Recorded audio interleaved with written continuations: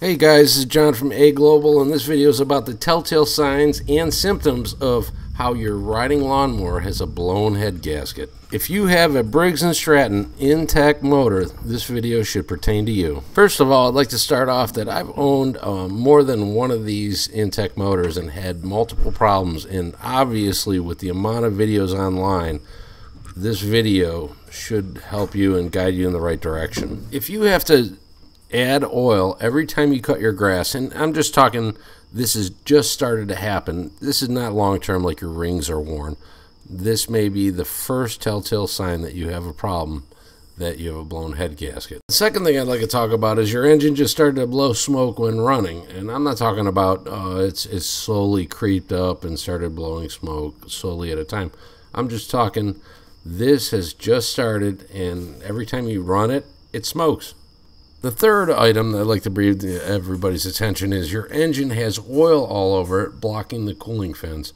Now, obviously, there's uh, pressure in the crankcase, and somehow it has worked its way out and uh, deposited the oil all over the engine. This is actually what happened to this DYT 4000, and it runs good, it starts good, but there's oil everywhere, and the grass just stuck to it clogging the fins and everything else. So if you're like me, and I actually use synthetic in virtually everything I uh, uh, use, uh, this model actually consumed oil but never smoked whatsoever.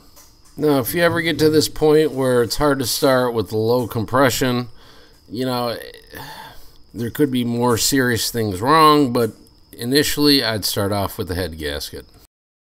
And lastly, one of the easiest telltale signs that your uh, your Intek motor has blown a head gasket is the spark plug has the symptoms it's coated with oil. It's easy, you just unscrew it and pull it out and take a look at it.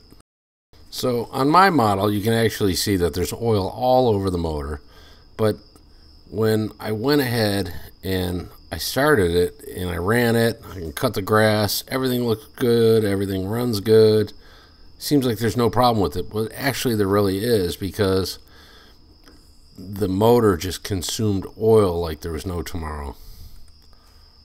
So, in my case, uh, as I'm checking through the symptoms of the mower, the first thing I wanted to check is is there any oil in the air filter? And actually, there wasn't. It was clean as a whistle.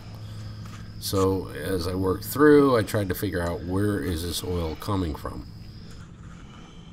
obviously I started to tear down the motor, took the cover off, and wanted to see what was inside. And I actually, you can see on the one side of the motor, oil is just it consumed everything. It, it just sprayed all over everything. Even inside the cover, it was all over the inside of the cover. And this caused me to tear down the motor to look and see where's the problem. And actually, if you look right in, I took the head off this and the head gasket was blown, even though this thing ran great. Crankcase that put pressure on the crankcase and actually forced it through the crankcase. And on this model, it was actually from the breather tube that went from the crankcase to the carburetor.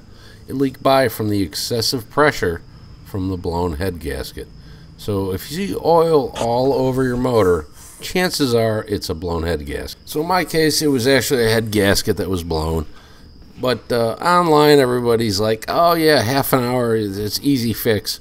It's much longer than that. If you run into something like this, you're to need a couple cans of carburetor cleaner to spray off everything, clean out the fins, and uh, to make sure you get that cooling so it doesn't seize up on you and in this case worked well new head gasket everything runs great.